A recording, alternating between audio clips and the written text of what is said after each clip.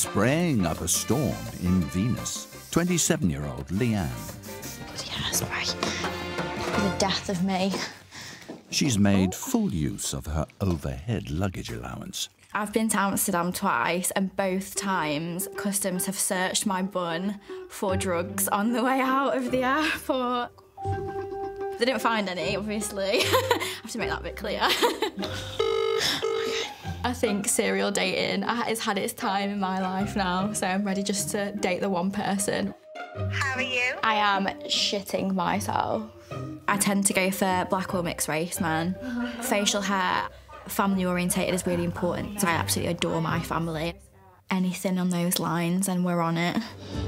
Right, Merlin's going to look after you. Oh my gosh, thank you. Enjoy. See you in a bit. Oh, thank you, Fred. Hello. Hello. You've had a time to sort of find your bearings. Have, settle in yes, yeah. And do your hair, looking Do my hair, yeah. My trademark is my hair, I tell you.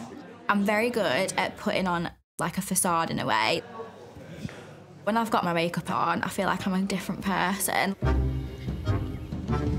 My makeup hides a lot of my insecurities. Hide behind my eyebrows.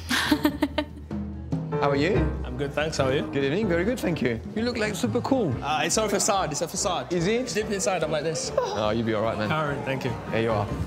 Hello. Hi, nice to meet you. You too. How are you? What's your name? Nice to meet you, I'm Lianne. Pleasure. Are you as scared as I am? Yes. Okay, good. Deep down, I'm like, Ugh. Hello. What can I get you to drink? Um, a double whiskey, please. Double whiskey. It's going in. Where are you from? So I was born in Zambia, Oh, wow, okay. and I moved to the UK in 2004. Just finished at Northumbria Uni now. What do you do at Northumbria? Uh, law. I've just finished my second master's. Lawyer. Really? Yeah, yeah, yeah. Oh, no. I am a lawyer. Oh. Yeah. It's happened a lot when I've been in like a courtroom. My opposition's obviously seen me.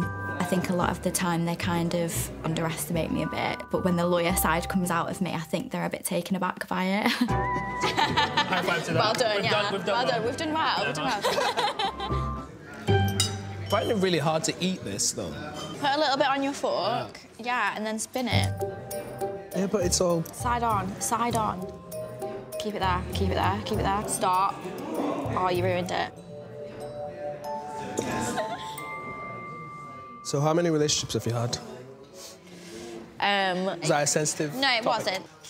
No, no, no. I don't regret any of it. Yeah. One was just like perfect, like physically Like, this is it for, like, for life. But when I ended it with him, he got a bit nasty.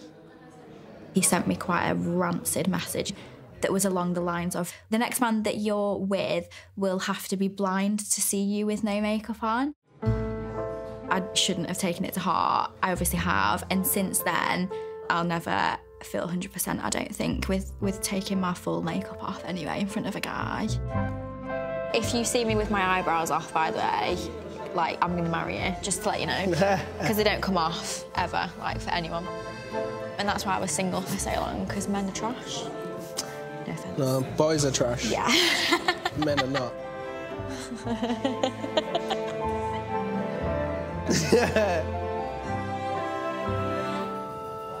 I am like actually overwhelmed by how well it went, like how much we had in common. It was ridiculous.